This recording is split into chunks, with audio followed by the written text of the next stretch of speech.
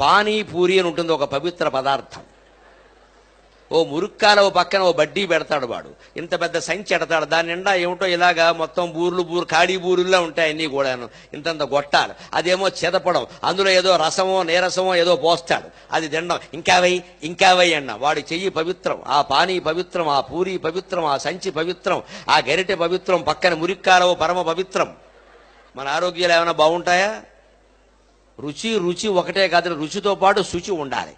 అలాగని శుచి ఒక్కటే కాదు శుచితో పాటు రుచి ఉండాలి. ఎప్పుడు ఆహారంలో రెండు ప్రధాన లక్షణాలు. ఒకటి శుచి రెండు రుచి. అందులోనూ ప్రథమ ప్రాధాన్యం శుచి రుచి కాదు. శుభ్రమైందా కాదా? నీకు రుచి సరిపోతే అలాగా రుచి బాగుండాలంటే మీకు ఏం అక్కర్లా. రేపు ఫిబ్రవరి పద్నాలుగు వస్తుందండి. ఏమిటంటే దాని పేరు? ప్రేమికుల దినోత్సవం.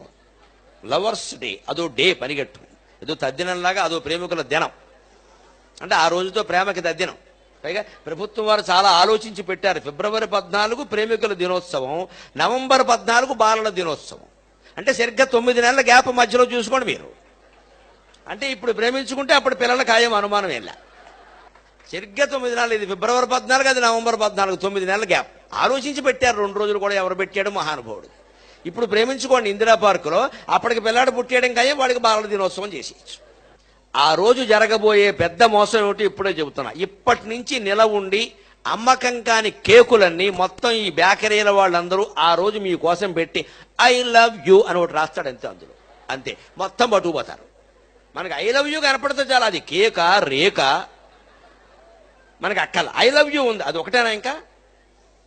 అందుకే వాడు అమ్మేస్తాడు తేలిగ్గా. పది రోజుల క్రితం తయారు చేసి వాసన వచ్చే కేకు మీద కెమికల్స్ జల్లేసి నీకు ఆ వాసన తెలియకుండా చేసేసి పైన ఐ లవ్ యూ రాసేస్తాడు. ఇవాళ మొత్తం ఆకర్షణీయత ప్రధానంగా వ్యాపారం జరుగుతోంది. మనం ఆ మోసంలో పడిపోవలసిందేనండి? బియ్యం ఏ బియ్యం వండాలో ఈవేళ మనకి సినిమా నటీమణులు ఖాతాలు లేని నటీమణులు వృద్ధ చలనచిత్ర నటీమణులు బియ్యం గురించి మాట్లాడతారా? వీళ్ళు ఎప్పుడైనా అన్నం వండారండి అసలు ఇంట్లో? సినిమా యాక్టర్ చెబుతుందండి మనకి ఏ బియ్యం ఉండాలి? ఏ మసాలా వాడాలో మరో సినిమా అంటే చెబుతుంది. ఇవి వంట ఉండిందండి మొగుడికి ఎప్పుడైనా అన్నం పెట్టారు అసలు వీళ్ళు? మనం మాత్రం ఆవిడ చెప్పింది మనం కొనేద్దాం. ఆవిడ చెప్తే నువ్వు కొనేవాడు ఆ రంగంలో ఏమైనా ఆవిడకి అనుభవం ఉందా? ఎలా మాట్లాడతారండి? నేను ప్రవచనాలు చెప్పేవాడిని రామాయణం అంటే ఏమిటో భారతం అంటే ఏమిటో భాగవతం అంటే పోనీ మనుచరిత్ర వశ్చరిత్ర అవధానం దాని గురించి నేను చెప్పి ఫలానా పుస్తకం కొనుక్కోమని నేను చెప్పొచ్చు కానీ ఇక్కడ పక్కనే రియల్ ఎస్టేట్ వేస్తున్నారు నాకు తెలిసిన వాళ్ళు. స్థలం తీసుకొని నేను చెప్పడం ఏంటంటే నాకేం తెలుసండి స్థలం గురించి? నేను చెప్తానండి? అంటే వాళ్ళు నాకు డబ్బులు ఇచ్చారు. నేను లక్షలు మింగేశాను. మీకు చెబుతాను నా మీద భక్తున్న వాళ్ళందరూ అక్కడ చేరతారు. తర్వాత నేను బాగుంటాను వాడు మోసం చేస్తాను ఇప్పుడు ఆ పాపంలో నాకు భాగం వచ్చినట్టు కదా? చేయవలసిన వ్యాపారాలు ఇదే సెలబ్రిటీస్ కానీ జరుగుతున్నావు అవి. యువతరం మొత్తం మాయలో పడుతున్నారు. ఆ క్రికెట్ ప్లేయర్ చెప్పాడు ఆ సినిమా యాక్టర్ చెప్పాడు అని మనం తాగుతూ ఉంటే అలాగా దాంట్లో ఏముందో చూడాలి కానీ. అందుకని ఆహారంలో శుచి రుచి రెండు ప్రధానం.